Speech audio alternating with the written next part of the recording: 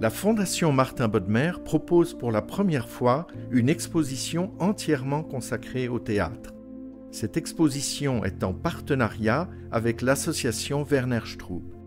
On y découvre d'une part les masques créés par Werner Stroop et d'autre part des documents écrits, manuscrits ou éditions rares, de grands textes de théâtre collectionnés par Martin Bodmer. Les masques ont été confectionnés au cours d'une période d'intense créativité qui s'écoule sur un demi-siècle entre 1962 et 2012. Les ouvrages collectionnés par Martin Bodmer ont été rassemblés sur une période analogue, un peu plus ancienne, de 1915 à 1971. La place de Genève se trouve en position centrale dans les deux cas. Martin Bodmer, d'origine zurichoise, rassembla sa collection à Genève. Werner Stroop, d'origine baloise, fit lui aussi l'essentiel de sa carrière de théâtre à Genève. Ce vis-à-vis entre masques et documents écrits est saisissant. Le dialogue rend hommage au caractère vivant des arts de la scène et du spectacle. Le parcours de l'exposition ne suit pas l'ordre chronologique des créations de Stroop, mais l'ordre de l'histoire du théâtre. Les deux premières vitrines présentent le théâtre de la Grèce antique, joué au théâtre Dionysos d'Athènes lors des concours des Dionysies. Les deux grands genres, dont hériteront les théâtres d'Europe durant 25 siècles, sont la tragédie et la comédie. Ces deux dénominations sont déterminées par le dénouement triste et tragique dans le premier cas, heureux et joyeux dans le second. Avec ces œuvres, nous assistons à la naissance du théâtre. Les vitrines présentent deux auteurs tragiques éminents, Sophocle et Euripide. De Sophocle sont montrées deux œuvres parmi les plus influentes de l'histoire, Oedipe-Roi et Antigone, dont l'intrigue se déroule à Thèbes. Un exemplaire extraordinaire est le premier imprimé restituant le texte grec de Sophocle retrouvé à la Renaissance, cette tragédie de l'éditeur, imprimeur et typographe de génie Aldémanous, 1502.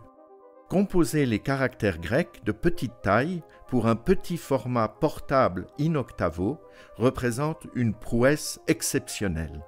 À côté de la langue originelle sont montrées deux traductions, la première traduction d'Antigone en allemand, publiée en 1636, et des traductions françaises modernes de l'universitaire lausannois André Bonnard, très engagé dans les causes du communisme et du pacifisme.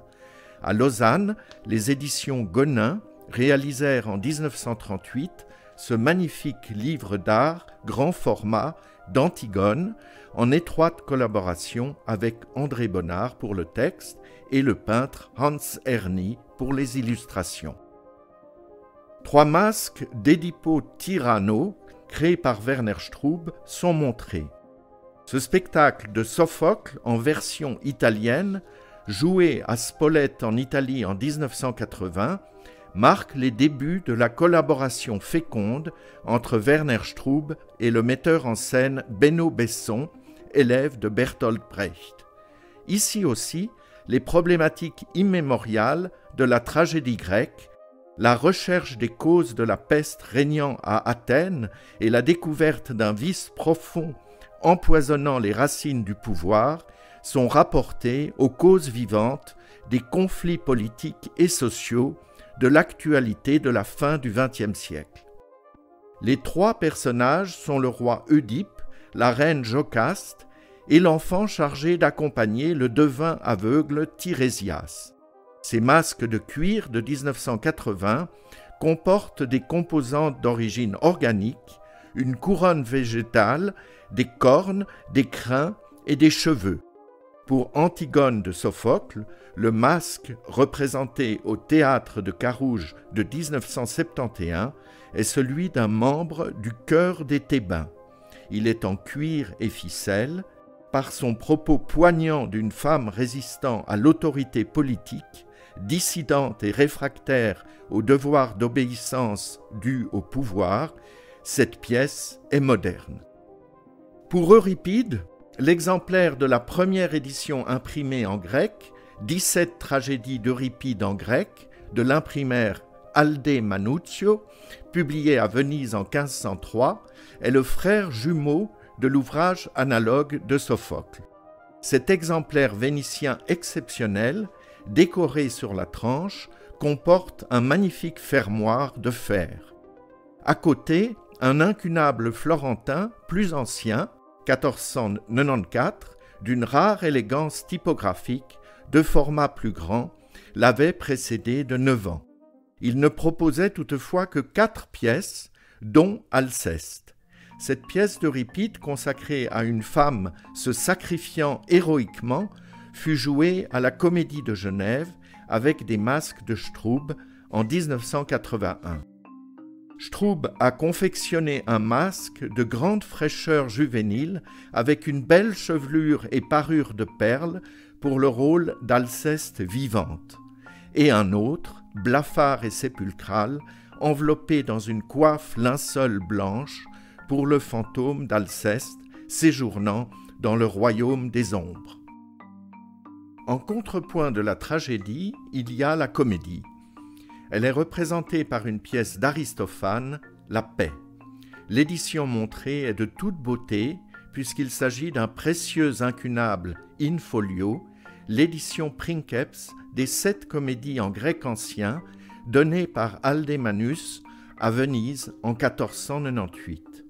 Le masque de Stroub exposé n'est pas comique puisqu'il s'agit de celui de la personnification de la guerre masque terrifiant de cuir et d'agrafes de fer construit par Stroub pour un spectacle joué en 1970 au théâtre Pitoef. Quittons l'Antiquité et tournons-nous vers l'âge moderne. Avec Shakespeare, le patrimoine du théâtre européen de la Renaissance connaît son géant. L'auteur du nord de l'Europe reprend et transforme la tradition qui le précède. Nourri d'une puissante inspiration, il compose à la fois des tragédies, des drames historiques consacrés au roi et des comédies. La première vitrine est consacrée à la tragédie de Hamlet. C'est l'occasion de montrer la pièce dans un grand format in-folio de 1623, l'édition originale de l'ouvrage ayant pour la première fois réuni le théâtre entier de Shakespeare. Cet ouvrage de grand prix aujourd'hui sans conteste l'une des plus grandes célébrités de la bibliophilie, est publiée sept ans après la mort de Shakespeare. Martin Bodmer eut la chance d'acheter d'un seul tenant, aux États-Unis, juste après la Seconde Guerre mondiale, une des plus belles collections d'éditions originales de Shakespeare jamais réunies. À côté est montrée la première édition de Hamlet, corrigée par Davenant 1676, une version expurgée, raccourcie, polissée, selon les exigences morales et esthétiques du classicisme du XVIIe siècle. Le masque d'un vieillard spectral, autoritaire, est celui du fantôme de Hamlet père. Il est fait de cuir, de poils, mais comporte aussi d'étonnantes plumes. Le spectacle fut monté à la Comédie de Genève en 1983. La deuxième vitrine montre Othello. On montre la pièce consacrée au supplice de la jalousie amoureuse, non plus incluse dans un grand format in-folio d'œuvre complète, mais dans l'édition originale, posthume elle aussi, de la pièce isolée de 1622. Il ne reste plus que 19 exemplaires de ce quarto rarissime. Le masque du vieillard fantastique est celui du personnage de Brabantio, père de Desdémone. Il est fait de tissu, de crin. Le spectacle prévu en 1995 à la Comédie de Genève, sur une mise en scène d'Omar Porras, fut néanmoins abandonné. Il ne fut pas joué et les masques ne furent jamais portés. La troisième et dernière vitrine montre La Tempête. On y voit la première édition de cette île enchantée, corrigée par le poète Dryden, 1670, version autorisée car expurgée, raccourcie, polissée. selon les exigences morales et esthétiques du classicisme du XVIIe siècle. Il s'agit d'une pièce tardive représentant le testament de Shakespeare. Le second ouvrage est un exemplaire de La Tempête dans la traduction allemande de Schlegel, republié à Londres en 1912 avec les illustrations en couleur de Dulac. La bibliothèque du sage insulaire, Prosperous Books, se conjugue aux esprits fantastiques, magiques et surnaturels avec lesquels il cohabite. Il s'agit du premier livre que le jeune Martin Bodmer s'acheta à l'âge de 15 ans. Trois masques d'un spectacle de Werner Straub, présenté à Lausanne en 1977, sont montrés. Ils sont en cuir, mais intègrent généreusement d'étranges éléments de fourrure, de poils, des cornes et des plumes. Ces masques sont ceux de trois esprits de la terre. Avançons dans la chronologie et tournons-nous vers la France du siècle de Versailles. Deux créateurs de génie s'illustrèrent dans la comédie, Pierre Corneille et Molière. Corneille créa l'illusion comique en 1623, l'année de parution à Londres des œuvres complètes de Shakespeare. Nous montrons un exemplaire de l'édition originale qui paraît alors que Molière n'était âgé que de 11 ans. Straub collabora au spectacle de l'illusion comique de Corneille dans la mise en scène de Giorgio Streller au théâtre de l'Odéon à Paris en 1984. Le personnage comique de Matamor incarne à lui seul, avec ses rodomontades et son courage de pacotille, toutes les outrances du théâtre. Ce masque de cuir comporte aussi du tissu, mais surtout un extraordinaire bouquet de grandes plumes de pan fichées à la place de la chevelure.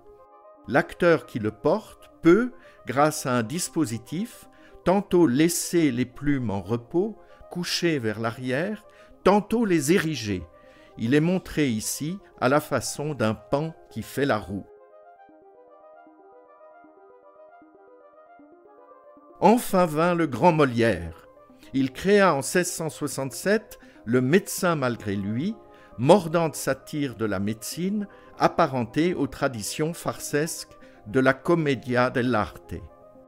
L'édition originale paraît en 1667. Elle côtoie la première édition illustrée, ainsi qu'un chef-d'œuvre de bibliophilie du XVIIIe siècle, l'édition pro des œuvres de Molière en six volumes de 1733 et 1734.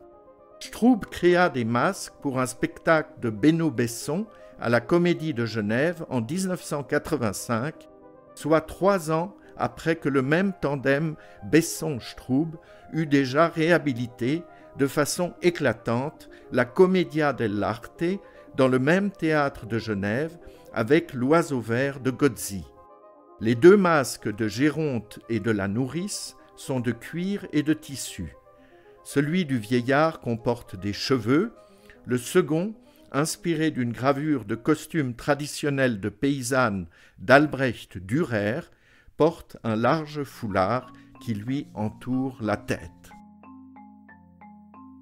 Werner Straub n'a cessé de produire des dessins et croquis inspirés des œuvres de Mozart qui représentaient pour lui le summum de l'invention théâtrale. On accorde donc à cette vitrine, au centre de l'exposition, une sorte de statut privilégié. Nous montrons d'une part deux manuscrits autographes de partitions qui sont des créations de Mozart, un quintet à cordes et un trio pour soprano, ténor, basse et cordes. L'écriture est agile, rapide, espiègle. D'autre part, nous montrons deux masques de Straub, inspirés par les personnages de Papageno et de Papagena. Ils sont faits de ficelles et l'écriture labyrinthe par laquelle le trajet de la ficelle écrit la tête et la crée lui donne sa substance légère et évidée. Les deux écritures des partitions et des masques sont ici en miroir, en correspondance et en parfait dialogue. Remarquons qu'il y a des couleurs. Ces masques, qui n'ont jamais été portés, sont représentatifs de l'idéal visé par le travail d'artisanat de Straub, plus les années passaient et plus son art s'éloignait de la dureté et de la pesanteur de matières comme le cuir et le fer pour toucher l'aérien, la transparence et la translucidité. Une façon de rejoindre Mozart. Genève est un lieu d'envol artistique.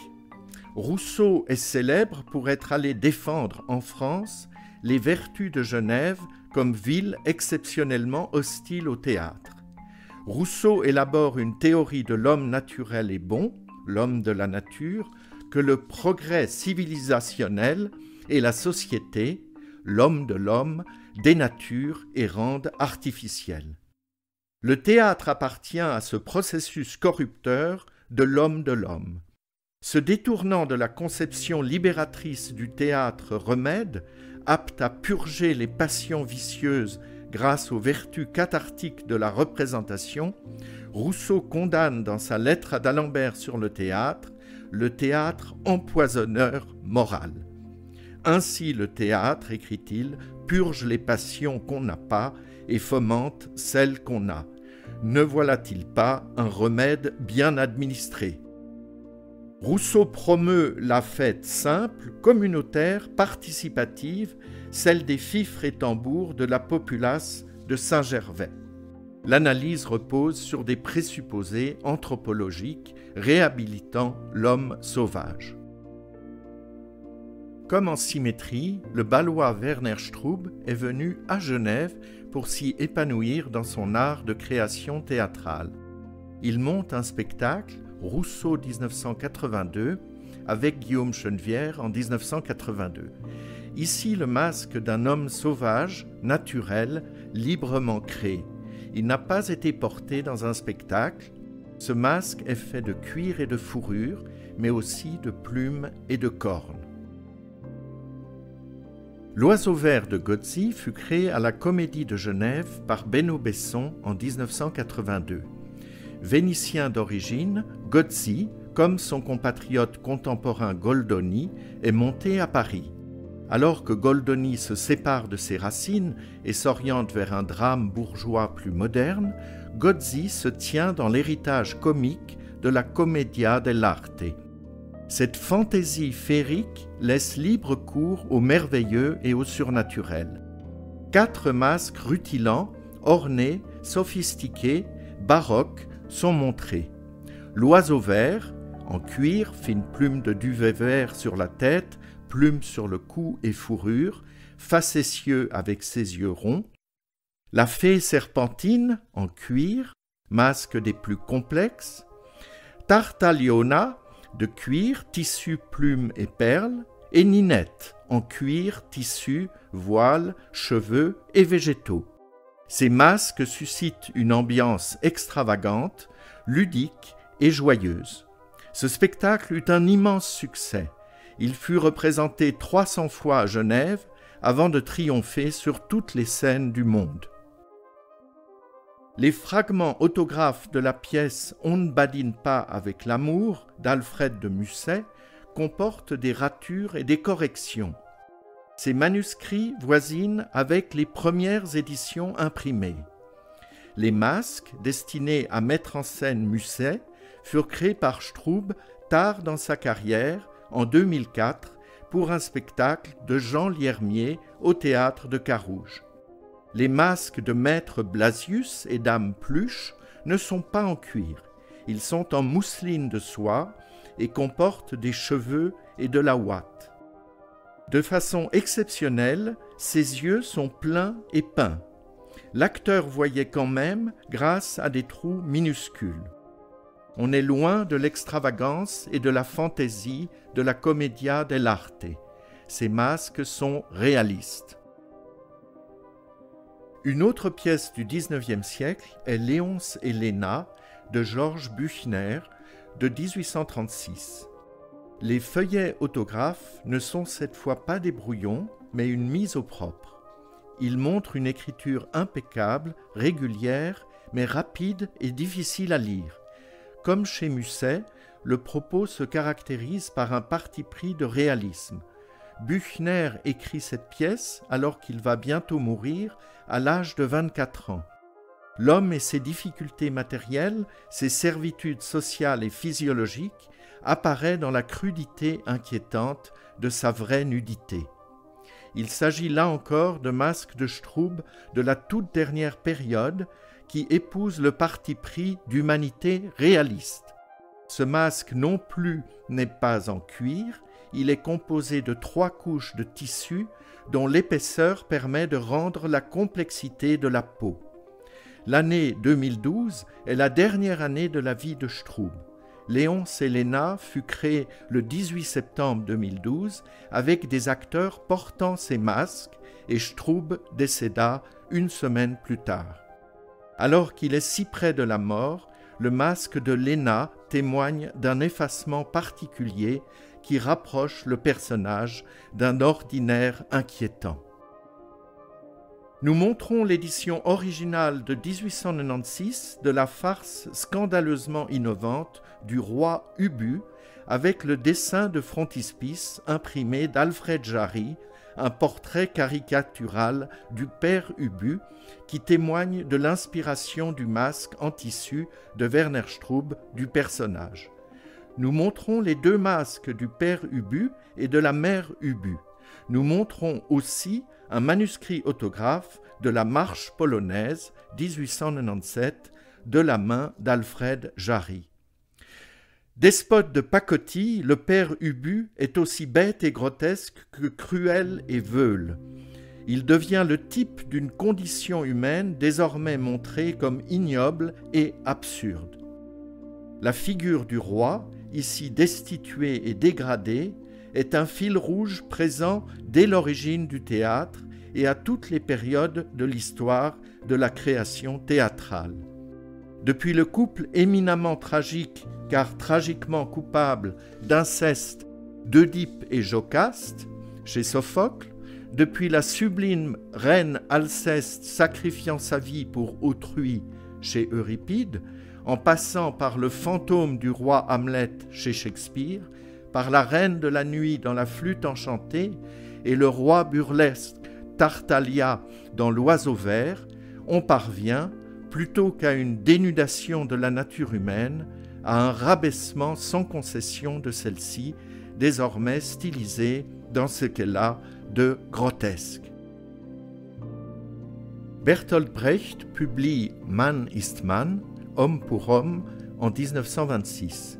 C'est une pièce socialement engagée. Le personnage principal, Galigai, est un travailleur des docks. Werner Stroop créa des masques pour le spectacle, montés par Benno Besson à Genève et Zurich en 1988. Les masques de Galigai et la veuve Beckbrick sont en tissu avec poils, dentelles et bijoux. Cette première exposition temporaire consacrée par la Fondation Martin Bodmer au genre du théâtre embrasse un corpus de pièces réparties de l'Antiquité au XXe siècle. Il s'agit de chefs-d'œuvre essentiels et incontestables des tragiques grecs de l'Antiquité jusqu'à Brecht. Partout le dialogue est instauré entre la vitrine, où sont présentés les documents écrits patrimoniaux, et les masques spectaculaires admirés immédiatement hors vitrine. La plupart de ces masques ont été portés sur scène. Les pièces présentées ont été l'expression de préoccupations majeures, idéologiques, sociétales, politiques, de leur temps. Ayant cristallisé et exprimé les inquiétudes de leurs contemporains, elles restent autant de témoins importants de l'époque de leur création. Si elles ont traversé le temps, c'est toutefois parce que leurs problématiques revêtent aussi une dimension atemporelle. Il est émouvant de constater que les œuvres d'art ne meurent pas. Chaque mise en scène constitue un événement d'actualité directe. Chaque création éditoriale ressuscite, sous un éclairage inédit, des sujets touchant profondément l'humain. L'exposition Masque et théâtre représente elle-même un événement créatif d'absolue modernité.